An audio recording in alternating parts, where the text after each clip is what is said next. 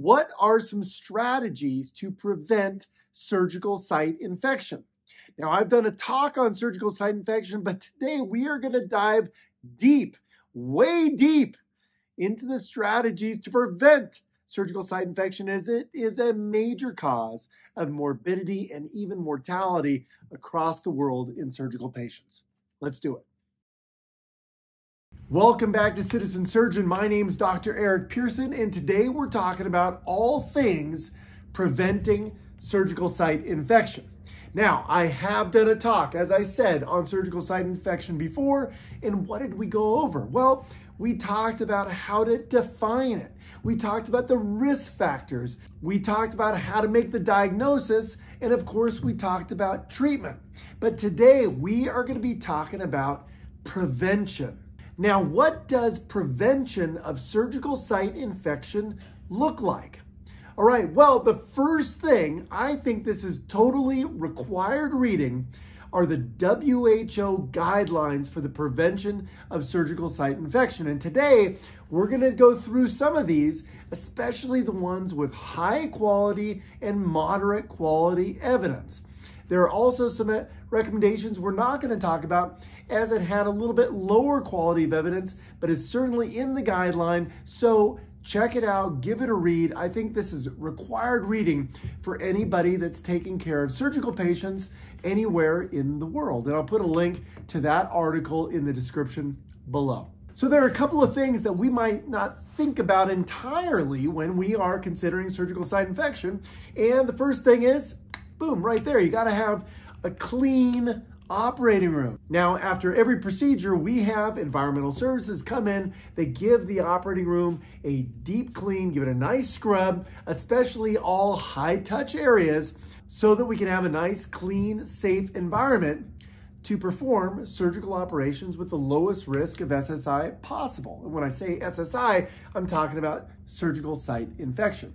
Now, what's the next thing you need? Well, you need clean instruments, and these instruments need to be sanitized correctly. And we have a sterile processing department, and there is one in every hospital, and they're responsible for making sure that all instruments are not only organized and ready, but they're sterilized and processed so that they are the safest they could possibly be for our patients. Okay, so those are two things, but now we're gonna get in specifically to talk about the patient. And when we talk about the patient, we think about preventing surgical site infection in three different areas. One is preoperative, two is perioperative, or all those decisions around the operation, and finally is postoperative.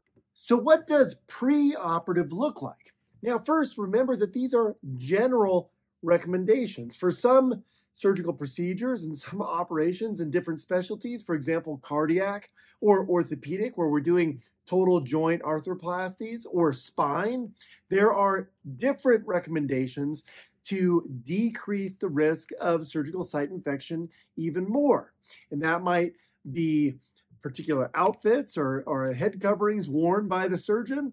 That could be using a different type of antibiotic prophylaxis. That could be uh, getting rid of MRSA in the nares. Okay, so I'm going to be giving some general recommendations, but for some of these surgical subspecialties like spine, even neurological surgery, uh, orthopedics with total joints, and then cardiac, there are additional recommendations uh, to think about. So let's get into the preoperative strategies for preventing surgical site infection. Now, when we're looking specifically at the patient, what can the patient do to lower the risk of SSI? Okay, well, optimize health. Be in the best possible health. Okay, so if we have cardiac disease, how can we optimize that? If we have cardiac failure, how can we optimize that? If we have diabetes, how can we get our glucose under control? If we have a history of respiratory distress or emphysema or bronchitis, how do we optimize that? How can we decrease our weight to get to a healthy weight so that we can have a safe surgery and then recover quicker? Okay, so the general thing we're going to talk about with a lot of these strategies is health optimization. So let's say that we're doing a preoperative visit with a patient and we want to discuss strategies to lower the risk of SSI in their upcoming surgery. Well, just like in a recent video on the risks of colorectal cancer, there are things we can control, so modifiable risk factors, and things that we really can't control. Well, when it comes to surgical site infection, of the preoperative stuff, what can we not control? Well, look here. I mean, look at all these. Well, the only one we really can't control is age. So if we take age out and we have these other risk factors, someone who's obese has a five times increased likelihood of having a surgical site infection if the body fat percentage is increased. Someone with diabetes has a three times risk of a surgical site infection, and smokers have double the risk of surgical site infection. Okay, so by decreasing our body fat percentage, by managing and controlling our diabetes, and by quitting or stopping smoking, we can dramatically reduce that risk of surgical site infection. And these are all preoperative strategies. Well, what are some other decisions preoperative that the surgeon and the surgical team is going to make? Okay, well, we talked about health optimization. We talked about diabetes management, reduction in obesity, and stopping smoking. But how about bathing? So the WHO recommends bathing preoperatively to reduce the amount of skin flora, as this may be associated with a risk of surgical site infection. Now, when we look at the literature, we don't see any evidence that bathing with antimicrobial soap or a chlorhexidine scrub does reduce the risk of surgical site infection. One of the problems when we look at these meta-analysis is there are some flaws in these trials. So can we really say that for sure? Now, one thing we know is that preoperative showers, preoperative bathing can reduce the amount of skin flora, but is that directly associated with surgical site infection? It looks like when we look at all these trials, then perhaps there is no direct relationship. However, it's still a recommendation. Now, if we go back to our list, we can see here MRSA decolonization. So there is significant evidence in neurological surgery, spine surgery, uh, orthopedic surgery that decreasing MRSA colonization in the nose with a mupirocin ointment would decrease the risk of a surgical site infection postoperatively. Now, one thing that they mention in the guidelines is other factors need to be taken into account. So what is the local colonization of MRSA? Does the patient have any previous MRSA infections or Staph aureus infections. So taking a look at that risk and then knowing should we use a 2% mupirocin ointment with a chlorhexidine bath preoperatively to reduce our risk of surgical site infection. Okay, so that was the preoperative strategies. Well, now let's go to the perioperative strategies. So around the operation, what decisions can we make to reduce the risk of surgical site infection? And there are several of these. So not necessarily in order, but let's go through each of these bullet points. So the first is an alcohol-based skin prep with chlorhexidine. So this is an example of one of these chlorhexidine scrub sponges. All right, they do have a particular area of chlorhexidine that they can cover and it depends on the size of the sponge. Okay, sometimes if I'm doing a chest or an abdomen, I'll have to use two of these to get the correct coverage, all right? So it's been shown in multiple studies that if we compare alcohol-based chlorhexidine with povidone iodine or a non-alcohol-based wash, that we can have reduced surgical site infection. So if we are in a position that we can use an alcohol-based chlorhexidine solution, then we should be doing that. When do I not do this? Well, I almost always use a chlorhexidine scrub, but the areas where I don't is if, if I have a neonate, okay, that has immature skin, I don't use chlorhexidine because there is a risk of burning. So I'll use povidone iodine scrub in that case. Also, when I'm doing operations on the face, I don't want chlorhexidine to get into the eye at all because it can cause burns. And so in that case, I will use like an ophthalmic povidone iodine scrub to make sure that I don't cause any injury to the eye.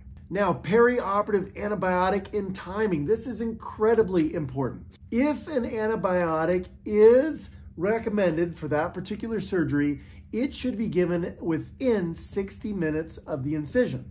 Now, the WHO guidelines will say within 120 minutes, okay? And there are different guidelines throughout the world that give a little bit different time points. 60 minutes is the one that we follow in my in the hospital that I work in and in many hospitals throughout the United States. The one star to this would be in some antibiotics that have longer half-lives, for example, vancomycin, we may want to give this before that 60 minute time period, maybe up to two hours before incision. And if we do this, we can lower the risk of surgical site infection. If an antibiotic is indicated, we certainly don't want to give that antibiotic after we've made a skin incision. So always needed to be given before. Now, how about hair removal? So the current recommendations are if you don't need to remove hair in the operative area, you should not remove it, okay? If you do need to remove hair, so sometimes if I have a teenager, I'm doing an abdominal operation and there's a lot of hair, then you want to remove it with hair clippers, but you do not want to shave the area.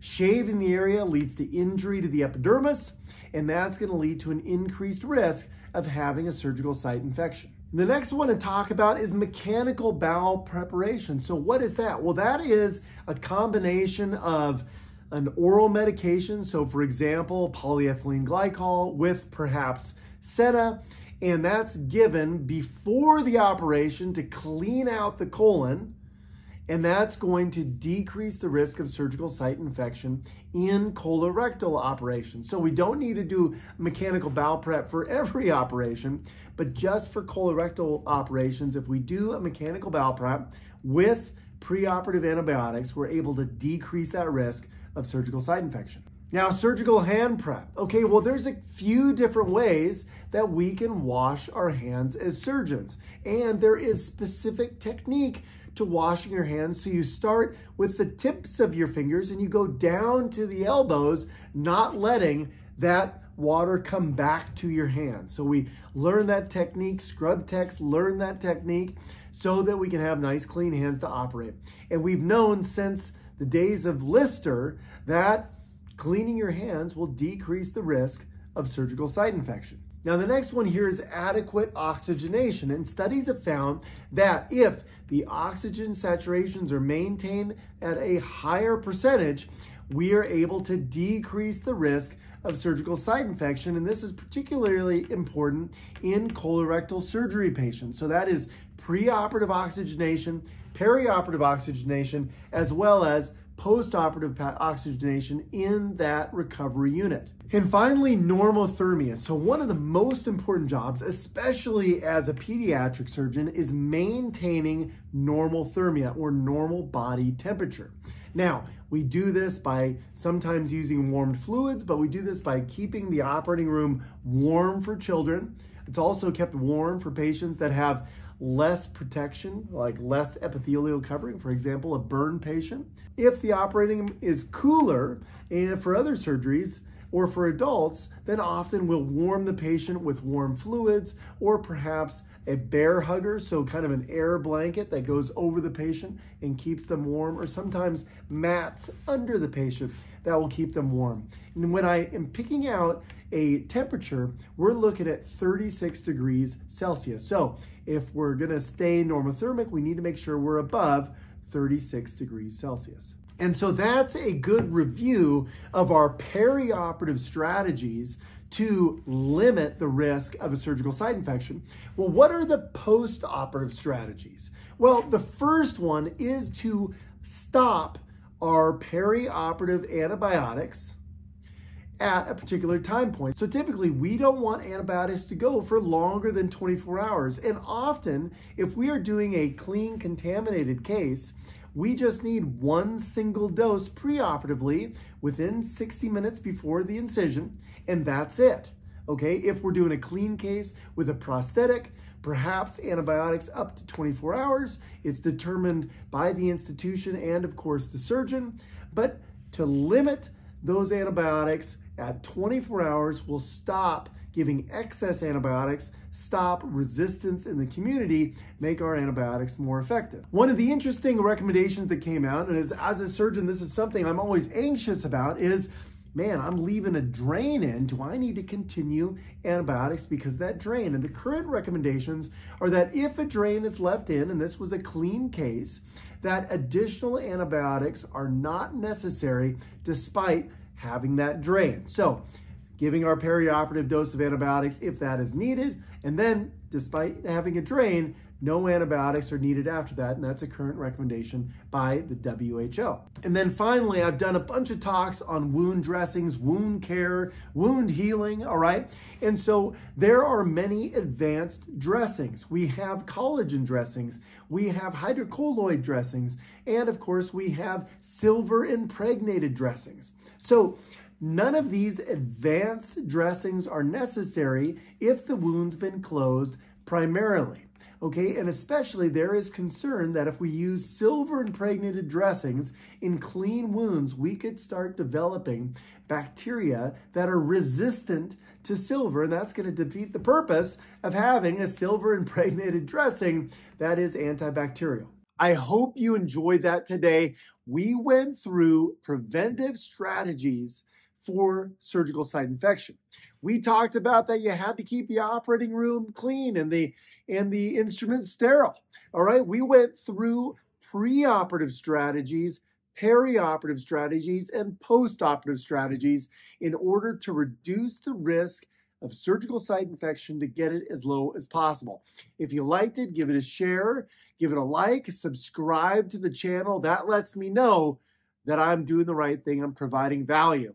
If you have any suggestions or any questions, leave it in the comment section below. I love it when you ask questions and I get to engage with you guys. As always, stay safe, study hard. I'll see you next time.